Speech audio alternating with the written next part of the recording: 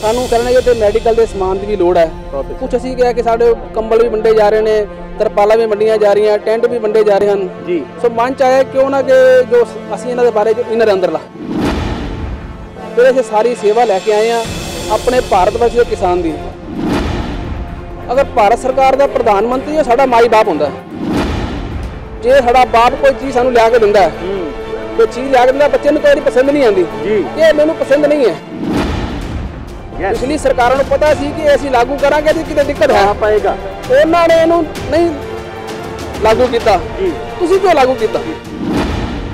ਅਗਰ ਤੁਹਾਡੇ ਕਿਸਾਨ ਬੱਚਿਆਂ ਨੂੰ ਇਹ ਚੀਜ਼ ਨਹੀਂ ਪਸੰਦ ਆਈ ਤਾਂ ਇਹਨੂੰ ਚੇਂਜ ਕਰੋ। ਬਿਲਕੁਲ। ਉਹਨੂੰ ਦੂਜੀ ਚੀਜ਼ ਦੇ ਦਿਓ ਜੋ ਪਸੰਦ ਹੈ। ਸਤਿ ਸ੍ਰੀ ਅਕਾਲ ਦੋਸਤੋ, ਮੈਂ ਸੋਮ ਸਹੋਤਾ ਤੇ ਤੁਸੀਂ ਵੇਖ ਰਹੇ ਹੋ Avon Punjabi TV Avon Punjabi TV ਦੀ ਟੀਮ ਵੱਲੋਂ ਅੱਜ ਸਵੇਰ ਤੋਂ ਹੀ ਸਿੰਘੂ ਬਾਰਡਰ ਦੀਆਂ ਲਾਈਵ ਤਸਵੀਰਾਂ ਪੂਰੀ ਦੁਨੀਆ ਦੇ ਰੂਬਰੂ ਕਰ ਰਹੇ ਹੈ ਔਰ ਦੇਸ਼ਾਂ ਵਿਦੇਸ਼ਾਂ ਵਿੱਚ ਬੈਠੇ ਪ੍ਰੈਜ਼ੈਂਟ ਸਮੇਂ ਦੀ ਜੋ ਸਥਿਤੀ ਹੈ, ਉਸ ਨੂੰ ਵਾਚ ਕਰ ਰਹੇ ਨੇ। ਔਰ ਇਸ ਬਾਰਡਰ ਤੇ ਆ ਕੇ ਜੋ ਕਿਸਾਨਾਂ ਵੱਲੋਂ, ਮਜ਼ਦੂਰਾਂ ਵੱਲੋਂ ਸੰਘਰਸ਼ ਸ਼ਾਂਤਮਈ ਤਰੀਕੇ ਨਾਲ ਵਿੱਢਿਆ ਜਾ ਰਿਹਾ ਔਰ ਉਸ ਦਾ ਦਿਨੋ ਦਿਨ ਜਿਹੜਾ ਬੁਖਾਰ ਹੈ, ਉਹ ਤੇਜ਼ ਹੁੰਦਾ ਜਾ ਰਿਹਾ ਔਰ ਕਿਸਾਨ ਮਜ਼ਦੂਰ ਸਾਂਝੇ ਤੌਰ ਤੇ ਕੇਂਦਰ ਸਰਕਾਰ ਦੇ ਖਿਲਾਫ ਇਹ ਦਬਾਅ ਪਾਉਣ ਦੀ ਕੋਸ਼ਿਸ਼ ਕਰ ਰਹੇ ਆ ਸ਼ਾਂਤਮਈ ਤਰੀਕੇ ਨਾਲ ਕਿ ਕੇਂਦਰ ਸਰਕਾਰ ਨੇ ਜਿਹੜੇ ਕਾਲੇ ਕਾਨੂੰਨ ਪਾਸ ਕੀਤੇ ਹੋਏ ਨੇ, ਉਹਨਾਂ ਨੂੰ ਜਲਦੀ ਤੋਂ ਜਲਦੀ ਵਾਪਸ ਲਿੱਤਾ ਜਾਵੇ। ਔਰ ਮੈਂ ਵੇਖ ਰਿਹਾ ਪੂਰੇ ਇਸ ਮਤਲਬ ਸਾਈਡ ਦਾ ਦੌਰਾ ਕੀਤਾ ਹੈ ਔਰ ਜੋ ਵੀ ਕਿਸੇ ਤੋਂ ਜਿੰਨੀ ਵੀ ਸ਼ਰਧਾ ਹੋਈ ਹੈ ਅਕਾਲ ਪੁਰਖ ਦੀ ਕਿਰਪਾ ਦੇ ਨਾਲ, ਉਹ ਆਪਣੀ ਸ਼ਰਧਾ ਦੇ ਮੁਤਾਬਕ ਕੁਛ ਨਾ ਕੁਛ ਇੱਥੇ ਬੈਠੇ ਹੋਏ ਮਜ਼ਦੂਰਾਂ ਨੂੰ, ਕਿਸਾਨਾਂ ਨੂੰ ਕੁਛ ਨਾ ਕੁਛ ਗਿਫਟ ਦੇ ਰੂਪ ਵਿੱਚ, ਲੰਗਰ ਦੇ ਰੂਪ ਵਿੱਚ ਆਪਣੀ ਜੇਬ ਦੇ ਵਿੱਚੋਂ ਜੋ ਦਸਾਂ ਨੌਹਾਂ ਦੀ ਕਮਾਈ ਹੈ ਉਹ ਕੱਢ ਕੇ ਦੇ ਰਿਹਾ ਹੈ। ਮੇਰੇ ਨਾਲ ਇੱਕ ਵੀਰ ਹੈ ਔਰ ਸਰਦੀ ਬਹੁਤ ਹੈ ਕੜਾਕੇਦਾਰ ਦੀ ਸਰਦੀ ਹੈ। ਇਹਨਾਂ ਵੱਲੋਂ ਵੀ ਬਹੁਤ ਸਾਰਾ ਉਪਰਾਲਾ ਕੀਤਾ ਗਿਆ। ਇਹਨਾਂ ਤੋਂ ਪੁੱਛਦੇ ਹਾਂ। ਵੀਰ ਜੀ ਕੀ ਨਾਮ ਹੈ? ਆਪ ਜੀ ਦੀ ਕਿਹੜੀ ਸੰਸਥਾ ਹੈ ਤੇ ਕਿੱਥੋਂ ਆਏ ਹੋ? ਮੈਂ ਦਿੱਲੀ ਤੋਂ ਹਾਂ ਜੀ। ਨਾਮ ਮੇਰਾ ਹਜ਼ੂਰ ਸਿੰਘ ਹੈ। ਅਸੀਂ ਇੱਥੇ ਪਿਛਲੇ 10-12 ਦਿਨ ਤੋਂ ਲਗਾਤਾਰ ਅਸੀਂ ਇੱਥੇ ਆ ਰਹੇ ਹੈਗੇ ਆ ਜੀ। ਤੋਂ ਇੱਥੇ ਦਾ ਜੋ ਮਾਹੌਲ ਹੈ ਪਿਛਲੇ 2-4 ਦਿਨਾਂ ਤੋਂ ਠੰਡ ਕਾਫੀ ਵੱਧ ਗਈ ਹੈ। ਤੇ ਇਸ ਠੰਡ ਦੇ ਵਿੱਚ ਸਾਡੇ ਭਾਰਤ ਦੇ ਕਿਸਾਨ ਮੈਂ ਤੇ ਇਹ ਕਹਾਂਗਾ ਕਿ ਭਾਰਤ ਵਰਸ਼ ਦੇ ਕਿਸਾਨਾਂ ਦਾ ਇੱਕ ਸੰਘਰਸ਼ ਹੈ। ਕੋਈ ਇੱਕ ਸੰਘਰਸ਼ ਨਹੀਂ ਹੈ। ਜਿੱਥੇ ਸਾਰੇ ਹੀ ਸਟੇਟ ਦੇ ਜਿੰਨੇ ਵੀ ਹਨ ਜੀ। ਭਾਰਤ ਵਰਸ਼ ਦੇ ਕਿਸਾਨ ਇੱਥੇ ਇਕੱਠੇ ਹਨ। ਠੰਡ ਦਾ ਮਹੀਨਾ ਅਸੀਂ ਆਪਣੇ ਘਰਾਂ ਦੇ ਵਿੱਚ ਗਰਮ ਗਰਮ ਜਿੰਨੇ ਵੀ ਸਾਡੇ ਕੋਲ ਰਜਾਈਆਂ ਤਲਾਈਆਂ ਜੋ ਕੁਝ ਵੀ ਅਸੀਂ ਲੈ ਕੇ ਬੈਠੇ ਆ ਇੱਥੇ ਸਾਡੇ ਦੇਖੋ ਜਦੋਂ ਘਰ ਬੈਠੇ ਆਪਾਂ ਸਾਡੇ ਮਨ ਚ ਆਇਆ ਕਿ ਸਾਡੇ ਜਿਹੜੇ ਕਿਸਾਨ ਹਨ ਅੰਨਦਾਤਾ ਹਨ ਉਹ ਵਿਚਾਰੇ ਠੰਡ ਦੇ ਵਿੱਚ ਇੱਥੇ ਬੈਠੇ ਹਨ ਵਿਦੇਸ਼ਾਂ ਵਿੱਚ ਵੀ ਬੈਠੇ ਸਾਡੇ ਜਿਹੜੇ ਪਰਿਵਾਰ ਦੇ ਬੰਦੇ ਹਨ ਹਾਂ ਉਹ ਵੀ ਇਸ ਚੀਜ਼ ਨੂੰ ਦੇਖ ਰਹੇ ਆ ਫਿਰ ਉੱਥੋਂ ਵੀ ਮੈਨੂੰ ਫੋਨ ਆਇਆ ਵਿਦੇਸ਼ ਤੋਂ ਵੀ ਯੂਐਸ ਤੋਂ ਵੀ ਕਿ ਵੀ ਇਹਨਾਂ ਵਾਸਤੇ ਅਸੀਂ ਕੁਝ ਕਰਨਾ ਚਾਹੁੰਦੇ ਆ ਬਹੁਤ ਅੱਛਾ। ਉਹਨਾਂ ਪਾਸੋਂ ਵੀ ਸਹਾਇਤਾ ਆਈ। ਉਹ ਸਹਾਇਤਾ ਦੇ ਥਰੂ ਅਸੀਂ ਸਾਰੇ ਜਿਹੜੇ ਸਾਡੇ ਵਿਸ਼ਨੂੰ ਗਾਰਡਨ ਸਾਡਾ ਦਿੱਲੀ 'ਚ ਇੱਕ ਨਗਰ ਹੈਗਾ ਬੜਾ ਮਸ਼ਹੂਰ ਹੈ ਵਿਸ਼ਨੂੰ ਗਾਰਡਨ ਜੀ। ਇਹ ਸਾਰੇ ਦੇ ਉੱਥੇ ਦੇ ਰਹਿਣ ਵਾਲੇ ਹਨ ਹਰਪਾਲ ਜੀ ਹਨ ਸਰਨਜੀਤ ਸਿੰਘ ਜੀ ਹਨ ਸੋਨੂ ਜੀ ਹਨ। ਜੀ। ਇਹ ਸਾਰੇ ਮਿਲ ਕੇ ਅਸੀਂ ਇੱਥੇ ਫਿਰ ਦਵਾਈਆਂ ਦਾ ਪਹਿਲੇ ਅਸੀਂ ਦੋ ਦਿਨ ਪਹਿਲੇ ਇੱਥੇ ਆਏ ਸੀਗੇ। ਅੱਛਾ ਜੀ। ਅਸੀਂ ਇੱਕ ਦੇਖਿਆ ਵੀ ਇੱਥੇ ਲੋੜ ਕਿਸ ਚੀਜ਼ ਦੀ ਹੈਗੀ ਹੈ। ਹੂੰ। ਸਾਨੂੰ ਕਰਨਗੇ ਤੇ ਮੈਡੀਕਲ ਦੇ ਸਮਾਨ ਦੀ ਵੀ ਲੋੜ ਹੈ। ਬਹੁਤ ਅੱਛਾ। ਕੁਝ ਅਸੀਂ ਕਿਹਾ ਕਿ ਸਾਡੇ ਕੰਬਲ ਵੀ ਵੰਡੇ ਜਾ ਰਹੇ ਨੇ ਤਰਪਾਲਾਂ ਵੀ ਵੰਡੀਆਂ ਜਾ ਰਹੀਆਂ ਟੈਂਟ ਵੀ ਵੰਡੇ ਜਾ ਰਹੇ ਹਨ। ਜੀ। ਸੋ ਮਨ ਚ ਆਇਆ ਕਿਉਂ ਨਾ ਕਿ ਜੋ ਅਸੀਂ ਇਹਨਾਂ ਦੇ ਬਾਰੇ ਜੋ ਇਨਰ ਅੰਦਰਲਾ। ਹਾਂ ਅਸੀਂ ਇਨਰ ਲੈ ਕੇ ਚੱਲੀਏ। ਹਾਂ। ਫਿਰ ਅਸੀਂ ਸਾਰੀ ਸੇਵਾ ਲੈ ਕੇ ਆਏ ਆ ਆਪਣੇ ਭਾਰਤ ਵਰਸ਼ ਦੇ ਕਿਸਾਨ ਦੀ। ਜੀ। ਬਾਕੀ ਦੂਜੀ ਗੱਲ ਮੈਂ ਪਰੇ ਹਟ ਕੇ ਗੱਲ ਕਵਾਂ ਕਿ ਜਿਹੜਾ ਸੰਘਰਸ਼ ਹੈ। ਹੂੰ। ਇਹ ਸਫਲ ਹੋਏ। ਉਹਦੇ ਵਾਸਤੇ ਇੱਕ ਮੈਂ ਥੋੜਾ ਜਿਹਾ ਉਦਾਹਰਣ ਦੇਣਾ ਚਾਹਾਂਗਾ। ਬਿਲਕੁਲ। ਉਹ ਉਦਾਹਰਣ ਇਹ ਹੈ ਕਿ ਭਾਰਤ ਸਰਕਾਰ ਜੀ। ਅਗਰ ਭਾਰਤ ਸਰਕਾਰ ਦਾ ਪ੍ਰਧਾਨ ਮੰਤਰੀ ਉਹ ਸਾਡਾ ਮਾਈ ਬਾਪ ਹੁੰਦਾ ਹੈ। ਬਿਲਕੁਲ। ਮਾਈ ਬਾਪ ਹੈ ਬੱਚੇ ਹੈ। ਜੇ ਸਾਡਾ ਬਾਪ ਕੋਈ ਚੀਜ਼ ਸਾਨੂੰ ਲਿਆ ਕੇ ਦਿੰਦਾ ਹੈ ਕੋਈ ਚੀਜ਼ ਲਿਆ ਕੇ ਦਿੰਦਾ ਬੱਚੇ ਨੂੰ ਕੋਈ ਪਸੰਦ ਨਹੀਂ ਆਉਂਦੀ। ਜੀ। ਕਿ ਮੈਨੂੰ ਪਸੰਦ ਨਹੀਂ ਹੈ। ਜੀ। ਤੇ ਉਹ ਕਹਿੰਦੇ ਮੈਨੂੰ ਚੇਂਜ ਕਰਕੇ ਦਿਓ। ਚੇਂਜ ਕਰ ਦਿਓ। ਬਹੁਤ ਜੇ ਇਸ ਟਾਈਮ ਸਰਕਾਰ 'ਚ ਜਿਹੜਾ ਸਾਡਾ ਪ੍ਰਧਾਨ ਮੰਤਰੀ ਬੈਠਾ ਹੈ ਅਗਰ ਇਹ ਬੱਚੇ ਹੈ ਹੂੰ। ਉਹ ਕਿਸਾਨ ਉਹਦੇ ਸਮਝ ਲਓ ਸਮਝ ਬਿਲਕੁਲ, ਬੱਚੇ। ਬਿਲਕੁਲ, ਬਿਲਕੁਲ। ਹੈ ਤੇ ਸਾਡੇ ਅੰਨਦਾਤਾ ਨੇ। ਇੱਕ ਉਦਾਹਰਨ ਦੇ ਤੌਰ ਤੇ ਮੈਂ ਕਹਿ ਰਿਹਾ ਬੱਚੇ ਬੱਚਿਆਂ ਨੂੰ ਕੋਈ ਚੀਜ਼ ਤੁਸੀਂ ਦਿੱਤੀ ਹੈ। ਜੀ।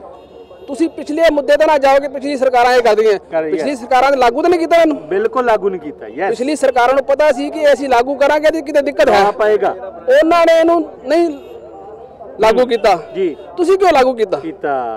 ਤੁਸੀਂ ਕਿਉਂ ਲਾਗੂ ਕੀਤਾ? ਮਤਲਬ ਜਿਹੜੀ ਚੀਜ਼ ਅਸੀਂ ਲੈਣੀ ਨਹੀਂ ਚਾਹੁੰਦੇ ਉਹ ਸੌਂਪ ਰਹੇ ਹੋ ਧੱਕੇ ਨਾਲ? ਅਗਰ ਤੁਹਾਡੇ ਬੱਚਿਆਂ ਨੂੰ ਕੋਈ ਚੀਜ਼ ਪਸੰਦ ਨਹੀਂ ਹੈਗੀ ਜੀ। ਤੁਸੀਂ ਉਹਨੂੰ ਚੇਂਜ ਕਰ ਦਿਓ। ਬਿਲਕੁਲ ਬਿਲਕੁਲ। ਉਹਨੂੰ ਦੂਜੀ ਲੈ ਦਿਓ ਜਿਹਨੂੰ ਪਸੰਦ ਹੈਗੀ ਹੈ। ਬਿਲਕੁਲ। ਤੁਸੀਂ ਆਪਣੇ ਆਪ ਲਿਆ ਕੇ ਦੇ ਦਿਓ ਕਈ ਬੱਚੇ ਮੰਨਦੇ ਕਈ ਨਹੀਂ ਮੰਨਦੇ। ਜਿਹੜੇ ਅੱਗੇ ਤੁਸੀਂ ਦਿੰਦੇ ਰਹੇ ਬੱਚੇ ਮੰਨਦੇ ਰਹੇ ਨੇ। ਜੀ। ਇਹ ਕੀ ਤੁਹਾਡੇ ਬੱਚਿਆਂ ਨੂੰ ਪਸੰਦ ਨਹੀਂ ਆਈ? ਜੀ। ਇਹ ਤੁਹਾਡੇ ਬੱਚੇ ਤੁਸੀਂ ਪਿਓ ਦੀ ਇਸ ਟਾਈਮ ਭੂਮਿਕਾ ਨਿਭਾ ਰਹੇ ਪ੍ਰਧਾਨ ਮੰਤਰੀ ਦੇਸ਼ ਦਾ ਹੈ ਪਿਓ ਦੀ ਭੂਮਿਕਾ ਨਿਭਾ ਰਿਹਾ ਹੈ। ਅਗਰ ਤੁਹਾਡੇ ਜਿਹੜਾ ਕਿਸਾਨ ਬੱਚਿਆਂ ਨੂੰ ਇਹ ਚੀਜ਼ ਨਹੀਂ ਪਸੰਦ ਆਈ ਤਾਂ ਇਹਨੂੰ ਚੇਂਜ ਕਰੋ। ਬਿਲਕੁਲ। ਉਹਨੂੰ ਦੂਜੀ ਚੀਜ਼ ਲੈ ਦਿਓ ਜੋ ਉਹਨੂੰ ਪਸੰਦ ਹੈ। ਯੈਸ ਯੈਸ ਸੋ ਇਹ ਅਸੀਂ ਸੇਵਾ ਸੀ ਸਾਡੀ ਇਹਨੂੰ ਮੁੱਖ ਰੱਖਦੇ ਹੋਇਆ ਜੀ। ਦਵਾਈਆਂ ਦੀ ਸੇਵਾ ਹੀ ਹੈ। ਸੋ ਮੇਰੇ ਵੀਰ ਇੱਕ ਹੋਰ ਜੁੜੇ ਨੇ। ਵੀਰ ਜੀ ਆਪ ਜੀ ਦਾ ਕੀ ਨਾਮ ਹੈ? ਮੇਰਾ ਨਾਮ ਸਰਨਜੀਤ ਸਿੰਘ ਹੈ ਜੀ। ਸਰਨਜੀਤ ਜੀ ਪਹਿਲਾਂ ਤਾਂ ਮੁਬਾਰਕਬਾਦ ਦੇ ਪਾਤਰ ਹੋ ਕਿ ਅਕਾਲ ਪੁਰਖ ਨੇ ਤੁਹਾਨੂੰ ਬੜੀ ਵੱਡੀ ਸੇਵਾ ਬਖਸ਼ੀ ਹੈ। ਅਸੀਂ ਕੌਣ ਹੁੰਦੇ ਆ ਜੀ? ਸੇਵਾ ਦੇ ਪ੍ਰਮਾਤਮਾ ਨੇ ਜਿਹੜੀ ਬਖਸ਼ੀ ਹੈ। ਜੀ। ਉਹਦੀ ਦਿੱਤੀ ਹੋਈ ਚੀਜ਼ ਆ। ਜੀ ਜੀ। ਉਹ ਸਾਨੂੰ ਦਿੰਦੇ ਨੇ ਅਸੀਂ ਅੱਗੇ ਦਿੰਦੇ ਆ। ਜੀ ਜੀ ਜੀ। ਅਸੀਂ ਕੌਣ ਹੁੰਦੇ ਆ? ਬਿਲਕੁਲ ਬਿਲਕੁਲ। ਇਹ ਅਕਾਲ ਪੁਰਖ ਚੁਣ ਕੇ ਭੇਜਦਾ ਜੀ। ਔਰ ਦਵਾਈਆਂ ਦੇ ਨਾਲ ਨਾਲ ਤੁਸੀਂ ਗਰਮ ਜਿਹੜੇ ਇਨਰ ਨੇ ਉਹਨਾਂ ਦੀ ਵੀ ਸੇਵਾ ਕਰ ਹਾਂਜੀ ਹਾਂਜੀ ਬਿਲਕੁਲ ਜੀ ਬਿਲਕੁਲ। ਦਵਾਈਆਂ ਦੀ ਇਨਰ ਦੀ ਸੇਵਾ ਕਰਨ ਦੇ ਆ। ਗੋਡਿਆਂ ਦੀ ਸੇਵਾ ਜਿਹੜੇ ਗੋਡਿਆਂ ਤੇ ਚੜ੍ਹ ਆਪਣਾ ਜਰਾਬਾਂ ਹੁੰਦੀਆਂ ਨੇ ਗੋਡਿਆਂ ਦੀਆਂ ਉਹਨਾਂ ਦੀ ਇਹ ਤੇ ਬਾਕੀ ਹੋਰ ਅਸੀਂ ਪੁੱਛਦੇ ਆ ਰਹੇ ਹਾਂ ਡਾਕਟਰਾਂ ਕੋਲੋਂ ਵੀ ਤੁਹਾਨੂੰ ਕਿਸ ਚੀਜ਼ ਦੀ ਜ਼ਰੂਰਤ ਹੈ ਸਾਨੂੰ ਦੱਸੋ ਅਸੀਂ ਤੁਹਾਡੇ ਕੋਈ ਚੀਜ਼ ਪਹੁੰਚਾਵਾਂਗੇ। ਜੀ ਬਿਲਕੁਲ। ਔਰ ਇਹ ਆਪਣੇ ਆਪ ਵਿੱਚ ਇੱਕ ਬਹੁਤ ਵੱਡੀ ਗੱਲ ਹੈ ਇਹਨਾਂ ਵੀਰਾਂ ਵੱਲੋਂ ਬਹੁਤ ਵੱਡਾ ਉਪਰਾਲਾ ਕੀਤਾ ਜਾ ਰਿਹਾ ਕਿ ਅਸਲ ਵਿੱਚ ਜ਼ਰੂਰਤ ਕਿਸ ਚੀਜ਼ ਦੀ ਹੈ? ਜਿਸ ਚੀਜ਼ ਦੀ ਜ਼ਰੂਰਤ ਹੈ ਜੇ ਉਸੇ ਦੀ ਸੇਵਾ ਕੀਤੀ ਜਾਵੇ ਤਾਂ ਉਹ ਸੇਵਾ ਆਪਣੇ ਆਪ ਵਿੱਚ ਬਹੁਤ ਵੱਡੀ ਹੈ। ਸੇਵਾ ਤਾਂ ਕੋਈ ਵੀ ਹੋਵੇ ਬਹੁਤ ਵੱਡੀ ਹੁੰਦੀ ਹੈ। ਪਰ ਮੈਂ ਚਾਹੁੰਦਾ ਕਿ ਅਕਾਲ ਪੁਰਖ ਨੇ ਇਹਨਾਂ ਤੇ ਇਹਨਾਂ ਦੇ ਪਰਿਵਾਰਾਂ ਤੇ ਬੜੀ ਬਖਸ਼ਿਸ਼ ਕੀਤੀ ਹੈ ਕਿ ਇਹਨਾਂ ਨੂੰ ਸੇਵਾ ਲਈ ਅੱਗੇ ਲਿਆਂਦਾ ਔਰ ਦੋਸਤੋ ਮੈਂ ਇੱਕ ਗੱਲ ਜ਼ਰੂਰ ਕਹਾਂਗਾ ਕਿ ਪੂਰੇ ਲਾਈਵ ਤਸਵੀਰਾਂ ਜਿਹੜੀਆਂ ਇਸ ਸਮੇਂ ਤੁਸੀਂ ਏਵਨ ਪੰਜਾਬੀ ਚੈਨਲ ਦੇ ਵੇਖ ਰਹੇ ਹੋ ਔਰ ਪੂਰੀ ਦੁਨੀਆ ਇਸ ਦੇ ਨਾਲ ਜੁੜੀ ਹੈ। ਕੈਮਰਾ ਜੂਨੀਅਰ! ਜਿੰਦਾਬਾਦ! ਕਿਸਾਨ ਜੂਨੀਅਰ! ਜਿੰਦਾਬਾਦ! ਕਿਸਾਨ ਜੂਨੀਅਰ! ਜਿੰਦਾਬਾਦ ਕੈਮਰਾਮੈਨ ਵਿਸ਼ਨੂੰ ਦੇ ਨਾਲ ਮੈਂ ਸੋਮ ਸੋਹਤਾ ਸਿੰਘੂ ਬਾਰਡਰ ਤੋਂ। ਮੈਂ ਆਪਣੇ ਇਹ ਮੋਢਿਆਂ ਤੇ ਗੋਡਿਆਂ ਤੋਂ ਬਹੁਤ ਦੁਖੀ ਸੀ। ਮੇਰੇ ਲਈ ਤਾਂ ਤੁਰਨਾ ਫਿਰਨਾ ਵੀ ਇੰਨਾ ਔਖਾ ਹੋਇਆ ਸੀ ਮੈਂ ਦੱਸ ਵੀ ਨਹੀਂ ਸਕਦਾ। ਪਰ ਜਦ ਤੋਂ ਮੈਨੂੰ ਫੀ ਰਿਲੀਫ ਮਿਲਿਆ ਹੈ, ਢਾਈ ਤਿੰਨ ਮਹੀਨੇ ਇਸਤੇਮਾਲ ਕਰਨ ਤੋਂ ਬਾਅਦ ਗੋਡੇ ਵੀ ਓਕੇ ਮੋਢੇ ਵੀ ਓਕੇ ਜੀ ਤੁਸੀਂ ਵੀ ਕਿਸੇ ਇਸ ਤਰ੍ਹਾਂ ਦੀ ਬਿਮਾਰੀ ਤੋਂ ਪਰੇਸ਼ਾਨ ਹੋ ਤੇ ਬੇਸਹਾ ਬੇਚਿਜਕ ਹੋ ਕੇ ਇਸ ਨੂੰ ਇਸਤੇਮਾਲ ਕਰੋ। ਸਿਰਫ ਢਾਈ ਤਿੰਨ ਮਹੀਨੇ। ਇਹ 125 ਬਿਮਾਰੀਆਂ ਤੱਕ ਦੇ ਇਲਾਜ ਕਰ ਸਕਦਾ ਹੈ। ਫੀ ਰਿਲੀਫ ਹਮੇਸ਼ਾ ਯਾਦ ਰੱਖੋ ਬਸ। ਕੁਝ ਦਿਨਾਂ ਤੋਂ ਮੈਨੂੰ ਬਾਲਾਂ ਦੀ ਬੜੀ ਸਮੱਸਿਆ ਸੀ। ਮੇਰੇ ਬਾਲ ਝੜਨੇ ਸ਼ੁਰੂ ਹੋ ਗਏ ਸੀ।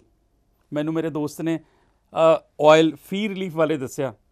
ਮੈਂ ਇਹ ਤੇਲ 3 ਕੁ ਮਹੀਨੇ ਲਾਣਾ ਆਪਣੇ ਸਿਰ ਤੇ ਅਪਲਾਈ ਕੀਤਾ। ਇਹ ਬਿਲਕੁਲ ਆਯੁਰਵੈਦਿਕ ਤੇਲ ਹੈ। ਇਹਦਾ ਕੋਈ ਸਾਈਡ ਇਫੈਕਟ ਨਹੀਂ ਹੈ। ਤੇ ਮੇਰੇ ਵਾਲ ਜਿਹੜੇ ਗੰਜਪਣ ਪੈਣਾ ਸ਼ੁਰੂ ਹੋ ਗਿਆ ਸੀ, ਉਹ ਦੁਬਾਰਾ ਆਉਣ ਲੱਗ ਗਏ। ਤੇ ਮੈਨੂੰ ਤਾਂ ਬੜਾ ਫਾਇਦਾ ਦਿੱਤਾ ਇਸ ਨੇ ਜੇ ਤੁਹਾਨੂੰ ਵੀ ਕਿਸੇ ਇਸ ਤਰ੍ਹਾਂ ਦੀ ਪ੍ਰੋਬਲਮ ਦਾ ਤੁਸੀਂ ਸਾਹਮਣਾ ਕਰ ਰਹੇ ਹੋ, ਤਾਂ ਇਹ ਤੇਲ ਲਾਣਾ ਨਾ ਭੁੱਲੋ। ਕਿਤਨਾ ਕਿਤੇ ਅਸੀਂ ਆਪਣੇ ਬਾਲਾਂ ਕਰਕੇ ਸ਼ਰਮ ਫੀਲ ਕਰਦੇ ਹਾਂ, ਕਿਤੇ ਸੋਸਾਇਟੀ 'ਚ ਬੈਠੇ ਹਾਂ ਕਿ ਕੋਈ ਮਜ਼ਾਕ ਨਾ ਕਰ ਰਿਹਾ ਹੋਏ। ਪਰ ਥੈਂਕਸ ਟੂ ਫ੍ਰੀ ਲੀਵ ਜਿਨੇ ਮੇਰਾ ਇਹ ਕੌਨਫੀਡੈਂਸ ਬਿਲਡ ਕੀਤਾ, ਜਿਹਦੇ ਲਗਾਨ ਨਾਲ ਮੈਂ ਮਾਰਕੀਟ 'ਚ ਹੁਣ ਬੜਾ ਹੀ ਕੌਨਫੀਡੈਂਟ ਹਾਂ, ਔਰ ਇਹਦੇ ਨਾਲ ਮੈਨੂੰ ਬੜਾ ਫਾਇਦਾ ਹੋਇਆ। ਤੇ ਮੈਨੂੰ ਸਰਵਾਈਕਲ ਦੀ ਵੀ ਦਿੱਕਤ ਸੀ। ਤੇ ਉਹਦੇ ਨਾਲ ਵੀ ਮੈਨੂੰ ਬੜਾ ਰਿਲੀਫ ਮਿਲਿਆ। ਇਹ ਯੂਜ਼ ਕਰੋ ਤੇ ਮੈਂ ਪ੍ਰੈਕਟੀਕਲ ਯੂਜ਼ ਕਰ ਰਿਹਾ। ਦੋਣ ਲਈ ਹਾਜ਼ਰ ਹੈ ਫੀਰ ਲੀਵ ਪਾਵਰ ਜਿਸ ਦੇ ਨਾਲ ਤਰ੍ਹਾਂ ਤਰ੍ਹਾਂ ਦੀਆਂ ਕਮਜ਼ੋਰੀਆਂ ਨੂੰ ਦੂਰ ਕੀਤਾ ਜਾ ਸਕਦਾ ਹੈ। ਜਿਵੇਂ ਮਰਦਾਨਾ ਕਮਜ਼ੋਰੀ, ਅੰਤਰੀਆਂ ਦੀ ਸੋਜਿਸ਼, ਪਿਸ਼ਾਬ ਵਿੱਚ ਜਲਣ, ਦਿਲ ਦੀ ਕਮਜ਼ੋਰੀ, ਖੂਨ ਦੀ ਕਮੀ ਅਤੇ ਦਿਮਾਗ ਨੂੰ ਤੇਜ਼ ਕਰਦਾ ਹੈ। ਅਲੱਗ-ਅਲੱਗ ਲੈਬੋਰਟਰੀਆਂ ਤੋਂ ਆਯੁਰਵੈਦਿਕ ਮਾਹਰਾਂ ਦੁਆਰਾ ਟੈਸਟ ਹੋ ਕੇ ਆਪ ਸਭ ਦੇ ਅਰੂਬਰੂ ਹੈ। ਔਰ ਜਿਸ ਦੇ ਵਿੱਚ ਕਈ ਤਰ੍ਹਾਂ ਦੀਆਂ ਆਯੁਰਵੈਦਿਕ ਜੜੀਆਂ ਬੂਟੀਆਂ ਅਤੇ ਕਈ ਤਰ੍ਹਾਂ ਦੇ ਪਸਮ ਮਿਲਾ ਕੇ ਤਿਆਰ ਕੀਤਾ ਗਿਆ ਹੈ। ਉਹ ਨੌਜਵਾਨਾਂ ਲਈ ਬੜਾ ਵਰਦਾਨ ਸਿੱਧ ਹੋ ਰਿਹਾ ਹੈ, ਜੋ ਨੌਜਵਾਨ ਮਰਦਾਨਾ ਕਮਜ਼ੋਰੀ ਨਾਲ ਜੂਝ ਰਹੇ ਨੇ। ਉਹ ਹੁਣ ਫੀ ਰਿਲੀਫ ਪਾਵਰ ਦਾ ਇਸਤੇਮਾਲ ਕਰਨ ਤੋਂ ਬਾਅਦ ਦੁਬਾਰਾ ਖੋਈ ਹੋਈ ਮਰਦਾਨਾ ਤਾਕਤ ਨੂੰ ਹਾਸਲ ਕਰ ਸਕਦੇ ਨੇ। ਇਹ ਮੈਡੀਸਨ 100% ਆਯੁਰਵੈਦਿਕ ਹੈ, ਇਸ ਦਾ ਕੋਈ ਵੀ ਸਾਈਡ ਇਫੈਕਟ ਨਹੀਂ ਹੈ। ਤੁਸੀਂ ਵਧੇਰੇ ਜਾਣਕਾਰੀ ਲਈ ਸੰਪਰਕ ਕਰ ਸਕਦੇ ਹੋ। 94784 84087